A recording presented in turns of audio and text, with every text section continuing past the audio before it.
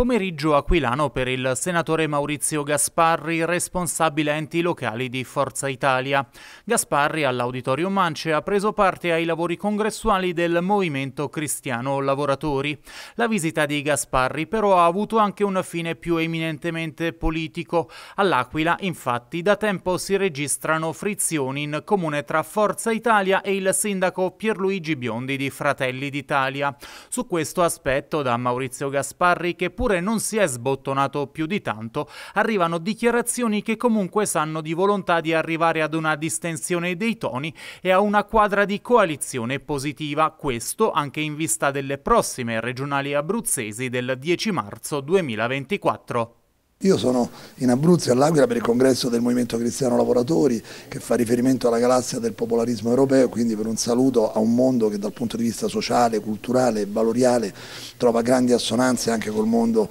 eh, di Forza Italia e col mondo che si ispira ai valori eh, del popolarismo. Eh, dopodiché reputo educato portare un saluto anche al sindaco dell'Aquila perché sono anche responsabile nazionale enti locali di Forza Italia, ma poi le vicende dell'Aquila troveranno la loro dinamica diciamo, locale, quindi io sono qui per partecipare a questo congresso e stabilire una sintonia valoriale con l'MCL. Il resto fa parte delle cronache quotidiane che troveranno sicuramente le migliori soluzioni sull'onda dello sforzo importante che il centrodestra sta facendo in Abruzzo e all'Aquila perché questa città e questo territorio ritrovi come sta ritrovando la sua forza, la sua capacità di protagonismo e poi abbiamo anche le regionali in prospettiva, insomma, quindi è un momento importante per tutti noi e anche per la nostra coalizione e anche per Forza Italia che sta dimostrando vitalità, presenza anche in Abruzzo in questi mesi ha registrato tante adesioni, tanti apporti, una politica di allargamento che insomma, ci conforta, quindi le cose minori